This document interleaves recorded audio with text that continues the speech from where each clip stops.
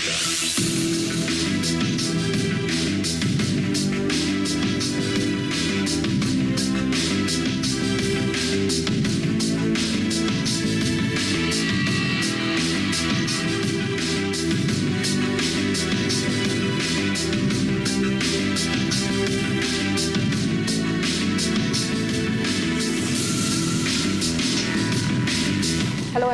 Welcome to a special edition of Issues and Answers here at the NTN studios, featuring outstanding students of the Sir Arthur Lewis Community College. My name is Nathalie Jolie-Fanis, and I thank you for joining us here this today.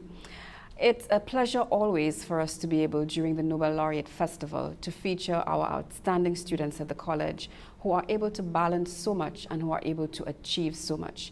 This year, the theme for the Nobel Laureate Festival is Celebrating Excellence Vision 2020. So our main topic will be to hear the students' vision for St. Lucia and for youth in particular. With me today are two students, Daniel De Freitas from the Division of Art Science and General Studies and Zanika Emilier from the Division of Agriculture. And we want to welcome both of them and thank them for being with us. Welcome. Thank, thank you very much. So you are exemplary students in leadership positions who do so much, particularly where youth is concerned. I want to give you an opportunity first to tell the nation about yourself. Let's start with Daniel. Okay.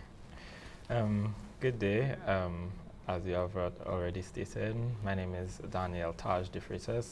I am a second year student of um, Sir Arthur Lewis Community College. I will be sitting CAPE for the second time uh, this year. I study biology, chemistry, physics, and Caribbean studies. Um, it sounds weird that I do so many sciences, um, especially when people find out that I was the um, creator of the Nobel laureate production um, this year. Um, I'm still happy on how well that it turned out. I'm also the vice president of the drama club, vice president of the DAG Students Council. I'm also on the executive of Spanish Club, but and of course many other other, other clubs. But um, I also one thing I hold dear to my heart is being the general secretary of the Gros Islet South Youth and Sports Council. That sounds like a full plate, Daniel. and I know Zanika is no different. Let's hear from you, Zanika. Okay, um, Zanika Emilier currently acquiring a, an associate's degree in general agriculture at the Sir Arthur Lewis Community College Year 2. I'm currently the president of the National Students Council, um, newly elected country representative for the Youth Climate Change Activists Regional Group. I also serve on my divisional council at the Division of Agriculture. Many clubs as Daniel, including the Spanish club, which we love dearly. And also, I do work in my community on the Babonneau Youth and Sports Council. I like so much that you sound like community people. And not only do you serve on your at your school clubs, but you're also part of your community. So tell us a little bit about how you balance all of that with your challenge of completing your studies at the Sir Arthur Lewis Community College, which I know is not just a, a walk in the park. Yes, Daniel. Well, as you said, it's definitely not a walk in, in the park. But I think um, the more time that you spend doing it, the easier that it, it, it becomes. Doing doing it meaning what? Balancing. Oh, okay, all, balance. Yes, all of these extracurricular activities. I would say um, to one who is looking to do the same, firstly, is just um, time management time management is the be all of one's schedule. If you have one and you should have have one. So you're having a schedule helps you map out what you're going to do for the day, the week, the month, and it helps you visualize what you'll spend your time doing so that not only do you have, um, you're able to make time for the things, all of the commitments that you have put on your plate, but it also allows you to work more efficiently with the time that you have. Okay, Zanika, how do, how do you manage? Well, for me, it's all about prioritizing your time and committing yourself to specific stuff as it relates to school and what we have going on. A lot of what we do outside of school is actually related to school. So you find knowledge filtering from us being in these groups also helps us at school. But at the same time, you need to sort of balance the two where you go to school. I mean, we miss a lot of school being mm a part of all these things. But at the end of the day, it's all about having a proper schedule, a proper planner as to what you're mm going to do and actually designating time to specific things that matter. So putting the ones that need a lot more work first and then come to the rest later. Mm -hmm. So that's how I go about actually trying to stay in school and balancing out the other stuff. Mm -hmm. Give us a little background into what propelled you into those fields that you're in now, particularly with the community service. What, what pushed you in that particular direction? Mm -hmm. Well, in terms of the com community service, as, as you said, um, what propelled me was actually someone else that I work with frequently. She's also um, a very um, heavily involved person in youth development. Her name is Desiree Daisy. Um, it was two years ago, I believe, when she um, asked me, knowing the, the qualities that I have be with before, um, while she worked with me and also just being a close friend, she realized that um, the qualities and passions that I possessed would have allowed me to thrive in, in, in, in, youth development. So it was more of a, a, a, a recruitment. Mm. But um, it's just that I think a lot of young people, um, including myself, has the passion and the interest to give back to their society because most people think, well, some people may think that the only opportunity that they'll get to give back to society is maybe when they're already working, maybe when they're an adult. But the truth is that we can already give back and be a part of change from this early age and from this level. Thank you, Daniel. What about you, Zanika? Well, I live in Babonneau, and although I'm not one to always be on the streets, as you may call it, I do a lot of observations in Babonneau, and I, I've realized that a lot of young people spend their time doing nothing. And for me, any way that I could be a part of something where we could get to these young people to have them to be involved, include them in stuff that would keep them out of the, on the blocks and actually have their mind being stimulated in something that is positive that would impact our society. I believe that's where it started for me and then being able to see that also we have students impacted in that same breath, um, it really pushed me to get involved in the student movement. And like Daniel, I have many friends who encourage me to continue, continue to be a leader in that capacity so that all students are looked after and all young people actually have a voice on their behalf and their concerns can be heard. Just a follow-up, so you told me about your interest in community development. Why did you choose agriculture as your field of study? Well, growing up, I really loved my environment, everything, and my dad specifically used to spend a lot of time with us, well, me, um, in the yard doing different stuff. And for me, it was something where I didn't want to go into business and science because it wasn't too exciting. I wanted to be more out there with nature, Mother Nature, as you would say it. I wanted to really get involved in planting stuff, and I was so fascinated to see that stuff could actually grow from me planting it. So it really stemmed from there, and a lot of people usually, when they see the brown shirt and not the green pants, they would say that I go to DAGS, but in truth and in fact, I go to DAGRI, and I really love that I chose that. Excellent. Daniel, what about your interest in science? Well, my interest in science started from a very young age. Um, I've always been the one to yearn for, for more knowledge, as I have from a very young age. I believe that knowledge is power. So I was always um, interested in knowing how things work, whether it be um, what, uh, what, what's in our food, how we get to, to, to, to work, um, what we put on our bodies. I just think that um, everything stems from somewhere and science, if you look at the sciences that I do, it's um, the free pure sciences, as people may call them, biology, physics, and chemistry. So it allows me to get in information on essentially how the world works from every standpoint. Um, my main focus is biology um, because that is what I aspire to, what field I aspire to go in, in, into later.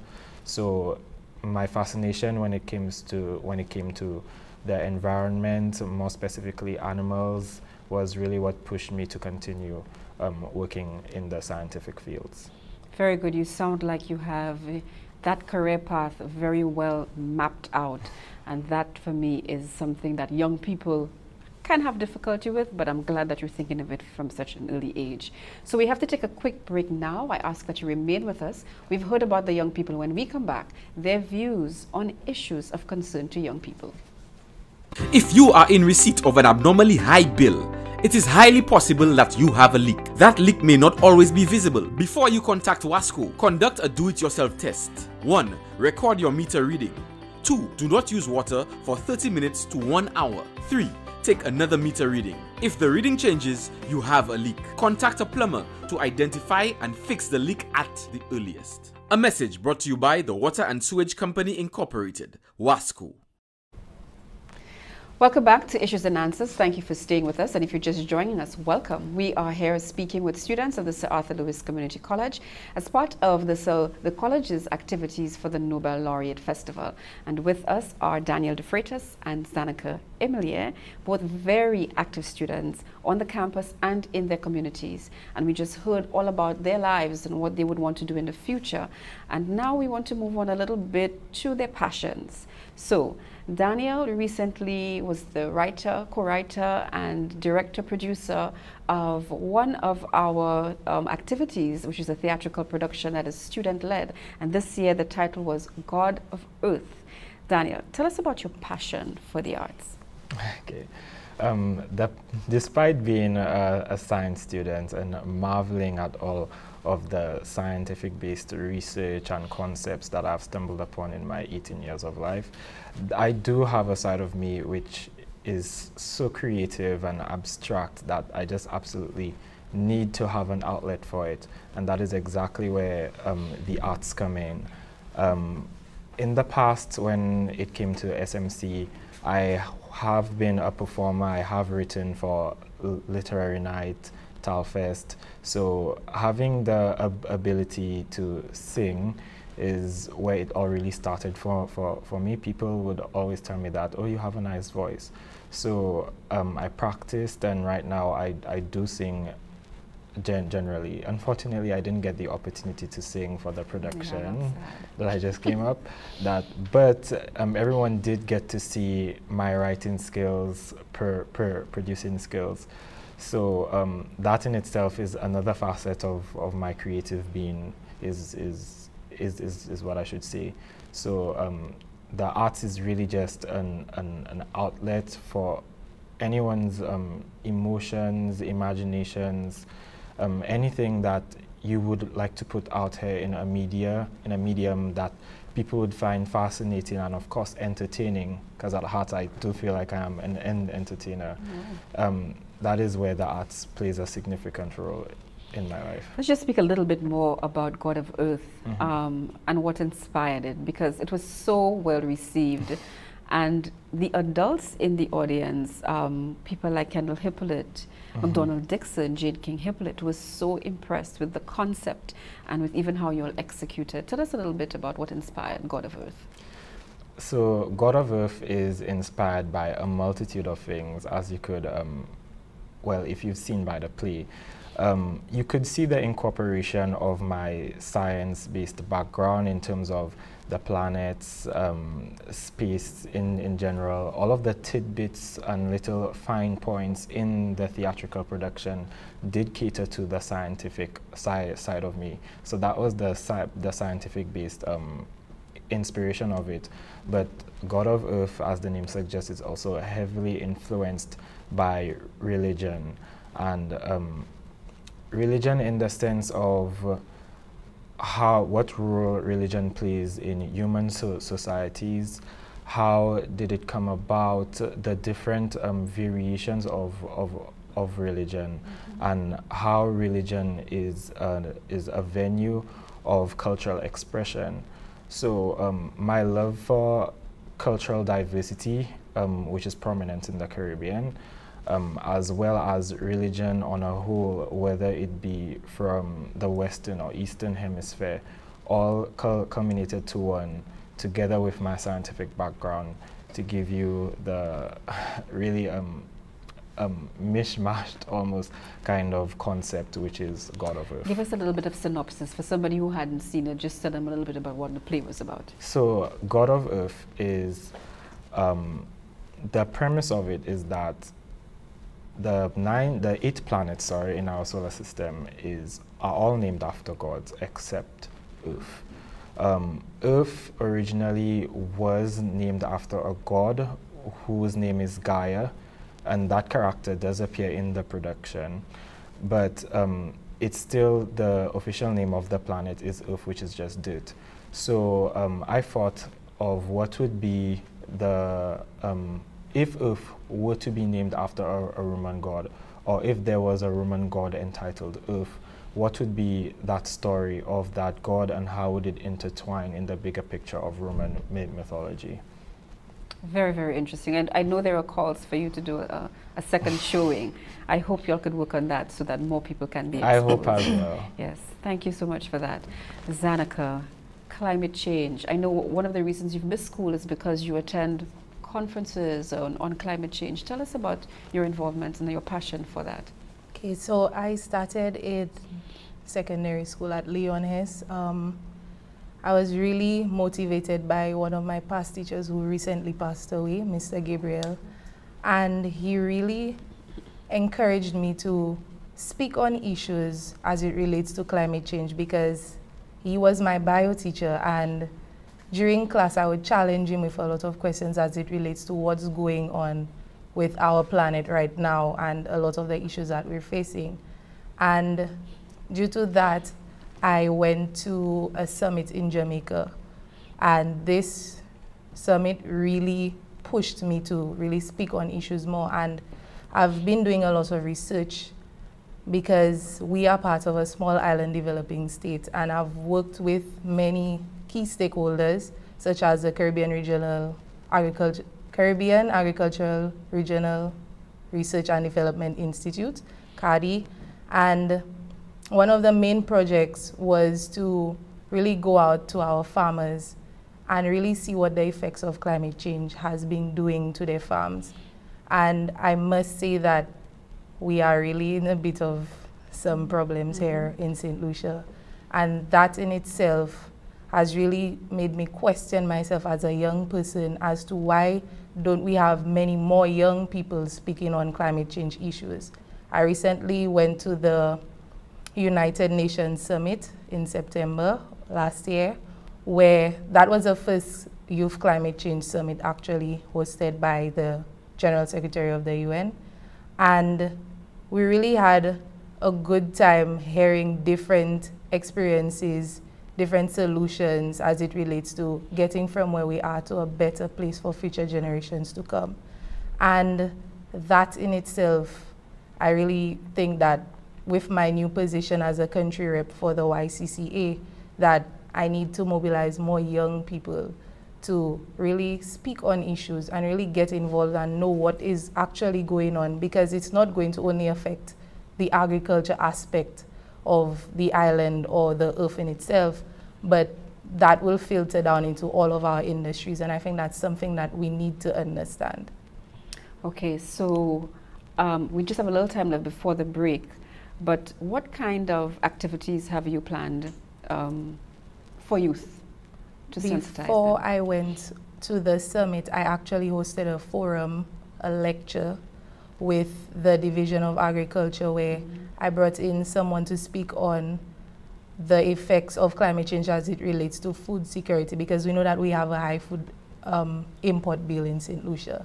So I really wanted them to have a feel on what it really is and what does it mean that we will not be able to provide food for our country anymore soon if we don't start to look at alternative ways of farming in St. Lucia.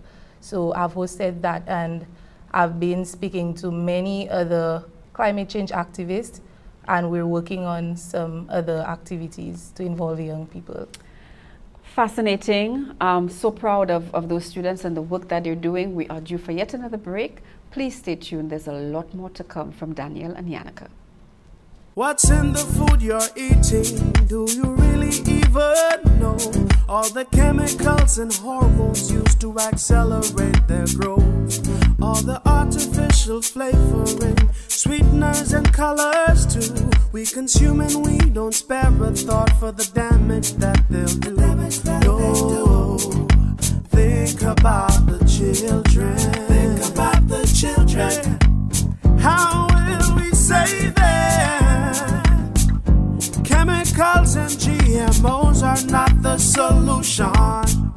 Use organic and join. Excessive agrochemical use, additives, and genetically modified foods are harmful to health and the environment. Join the good food revolution. Grow, buy, and consume organic. A message from Rise St. Lucia and the Ministry of Sustainable Development with funding from the GEF Small Grants Program UNDP. The Good Food Revolution. Welcome back to Issues and Answers. We are speaking with Daniel and Zanika, two students from the Sir Arthur Lewis Community College, and it really has been an uplifting conversation with them. They are really inspiration to young people, and we want to continue now. They have spoken about themselves and their passion. I want them now to speak to some issues that affect young people. And I think given that you're at the highest level of, of education that we have in St. Lucia, our premier tertiary institution, I wanted to talk about education and your vision for education in St. Lucia and for young people. Who wants to start? I, am throwing it up this time. I'll start. Um, so if I may, uh, for education, definitely one of the first um, visions that I have for St. Lucia's education system is the implementation, or should I say the transition of Sir Arthur Lewis um, College to become a full-fledged university. I mean, um, that would be so much easier and so much easier for one, for um, people who want to remain in St. Lucia, people to attain a proper degree in whatever field that the, the, the university will provide. Um, it will cut costs on uh, us students having to leave to gain um, um, diplomas and, and certificates such as our masters or, or, or, or bachelors. So um, that I think is one of the one of the um, visions that should be at the forefront of being brought into fruition. Um, in addition to that, I would also like to see that the variety of, of um, courses provided at this um, tertiary institution, I would hope to be expanded in the past. Um, sorry, to be expanded in, in the future. In the past, I know that there has been um, courses which used to be um, delivered to, to students but aren't anymore. So I would like to see a, a, re a, revitalization of, of these courses to be brought back as well as the introduction of theater arts for, for, for CAPE, mm. for, for, uh, for example. Um, I just think that there is so much potential in terms of um, the um, variety of skills and interests that young people have that they want to take seriously and turn into a profession um, that is sadly being missed out upon um, here in, in, in St. Lucia. Okay, thank you. Zanika? I totally agree with Daniel. And another thing is that I would like to see that we have a more inclusive syllabus in St. Lucia, um, mainly at the secondary schools. Mm. Because a lot of the time we see that our syllabus sort of caters to the more academic students and a lot of the time our more vocational and athletic students are sort of left out but the transition is happening with we've seen they um, turn the Gros Islet Secondary School into mm -hmm. a mm-hmm. sports facility and I just wish that they would really sort of start to do more in terms of the arts and even agriculture in itself. So that's what I would like to see with the education system and being a part of the NSC, we've begun to work closely with ministers. Even we had a meeting with the Prime Minister where we discussed um, how we could make the education system a more conducive and effective one in St. Lucia for our students. So we've been working along with them and I could say that if we continue to discuss these issues and how we could improve education, that sooner or later our education system will be one that would cater to all students and wouldn't be suffering from brain drain, brain drain mm -hmm. sorry, so that everyone could feel like they have a place here to study in St. Lucia. Okay, thank you. Um, we are getting very close to our independence celebrations. Um, last year, there was a lot of festivity around our 40th. Um, I think we can say we're adult now uh, at the age of 40. Um, and I know you've been around just for, for 18 years, but for a country that has been, that is celebrating 40 years of independence, what for you would you like to see um, stand out as representing St. Lucia, as being at the forefront of our development? Mm -hmm as an independent nation? Okay.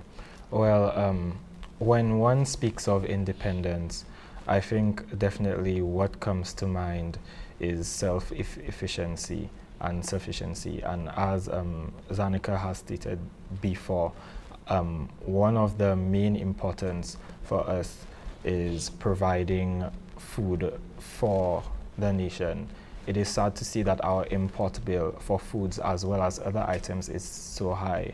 So um, one thing that I think that needs to be put at the forefront of development for. Lucia in order to exemplify our independence is to lessen our dependency on other countries in terms of imports.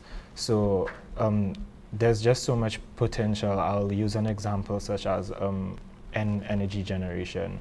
I think there has been a discussion for the generation of geothermal energy um, using our um, vol vol volcano for some time now, um, taking advantage of the Caribbean climate where there is so much sun and so much wind um, to generate solar or wind powered energy. Um, so in all, I think that there's a lot of talk happening in terms of allow, um, trying to push. Lucia forward to um, investing into those sort of um, plans. But I think that what a lot of us would like to see, especially young people who are hearing so much about climate change and seeing um, so, so much that um, the world may not be in a position where we could en enjoy. Um, we would just like to see these initiatives brought to, brought to the forefront as these are ways to help preserve the earth and these are ways which will ensure our future um, to be successful and long lasting. Zanika, has he has he stolen your fire? he sounds like he's encroached on your area. Is yes, there anything else, given that you're with the NSC, is there anything else as an independent nation that you'd like to see for St. Lucia? Just about a minute definitely left. agreeing with Daniel. I also think along with that, as an independent island, we need to sort of try to lessen on the unemployment of young people in the country. Definitely. Recently, um, young people across the Caribbean, actually last week, we had a summit in Trinidad where we discussed economic growth and decent work for young people not only having just an informal job where you probably go twice a week, but something that could enable you to get something for yourself daily. And I think that as an island, we need to not only look at trying to create jobs, but how as a young person in yourself, can you start up something? How could you do something that could actually help other young people? And I think that we need to sort of resort to having these discussions as an island and as young people also. Entrepreneurship. Yes, definitely. Yes, I think that is so important. I think these are two critical areas for young people. Mm. Sustainability, having a future, and being able to provide employment and be self-employed. We are celebrating excellence, and therefore we celebrate you this has been an excellent discourse. I thank you so much for all the work that you put in, for being shining examples for the young people. And I thank you for sharing your vision with us. And I want to encourage you to continue what you're doing. And I know it'll be nothing but success for you. So thank you so much, Danielle De Freitas and Zanika Emilie, students of the Sir Arthur Lewis Community College, for being with us today on Issues and Answers. And thank you so much for joining us here today. Um, I hope that you were inspired and that you have hope for the future. We end here with the Nobel Laureate Festival being celebrated by the Sir Arthur Lewis Community College under the theme Celebrating Excellence Vision 2020. Thank you so much for joining us. We'll be right back.